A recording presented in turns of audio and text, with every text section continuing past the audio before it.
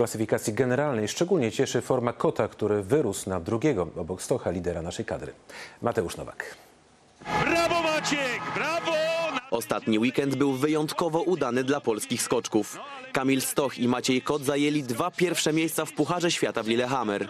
A więc pierwsze i drugie miejsce dla Polaków. O ile Stoch przyzwyczaił nas do bardzo dobrych wyników, o tyle forma, którą od kilku miesięcy utrzymuje Maciej Kot jest zaskoczeniem. Na Maćka Kota uwagę zwrócił już Hanu Lepisto 10 lat temu, kiedy obserwował skoki Maćka jako juniora e, i stwierdził, popatrzył na Maćka i powiedział, z niego będzie naprawdę e, poważny skoczek narciarski E, i jest. Potencjał Maćka w końcu uwolnił nowy trener Stefan Horngacher. Doskonałe lato w wykonaniu naszych zawodników i, i, i w zasadzie dominacja Macieja Kota.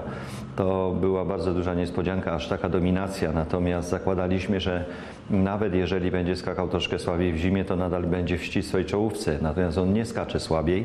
W tym sezonie Maciej Kot po raz pierwszy stanął na podium zawodów zimowego Pucharu Świata.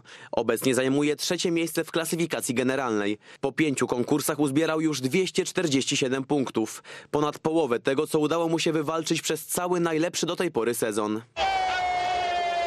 Polacy z Maćkiem w składzie wygrali 3 grudnia po raz pierwszy w historii drużynowy konkurs Pucharu Świata. Kot uzyskał tam indywidualnie najlepszy wynik.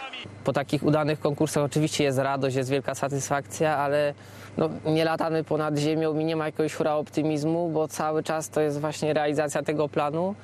E, a plan jeszcze jest bardzo długi, bo tak jak mówię, najważniejsze konkursy przed nami. To turniej czterech skoczni Mistrzostwa Świata. Z takim sztabem trenerskim i takimi zawodnikami możemy mieć nadzieję na dobry wynik na zbliżających się Mistrzostwach Świata w Lachti. Mateusz Nowak, Wiadomości.